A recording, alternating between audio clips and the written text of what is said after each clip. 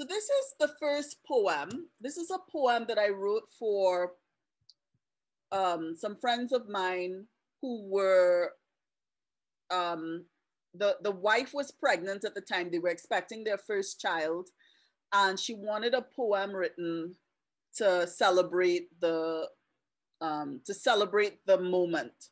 So this is a poem that I wrote. It's called The Locket.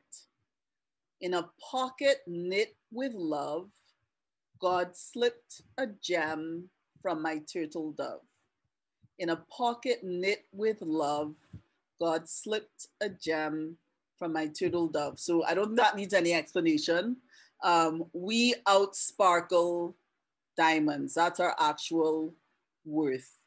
I don't know if, I, I mean, we may have moments where we may not feel that way, but no matter how we feel, that's always how God sees people, the crown of his creation. And this is what God says For I know the thoughts that I think toward you, says the Lord, thoughts of peace and not of evil, to give you a future and a hope. So God thinks kind thoughts towards us. So if that's how God thinks towards us, thinks about us, I think that's how we want us to think about ourselves, that we are people of value. So this is what God's love is like. This is how I describe it.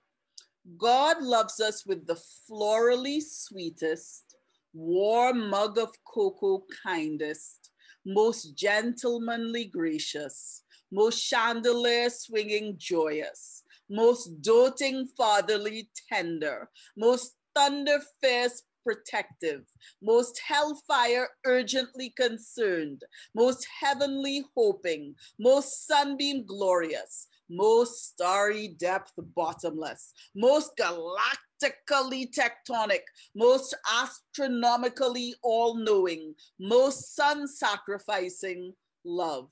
Yet we may sometimes suffer from the most wretched self hatred. And my first um, webinar was about um, jealousy and envy. And one of the things that came out from that webinar is that jealousy and envy is very common. I don't know if you all have had that experience where you realize a lot of the people around you get jealous and envious very easily. And that could be a sign of low self esteem. So I'm convinced that a lot of people walking around on the planet have very low self esteem, right? So I hope that this webinar, if that's something that we have an issue with, that it will help us to, to overcome that.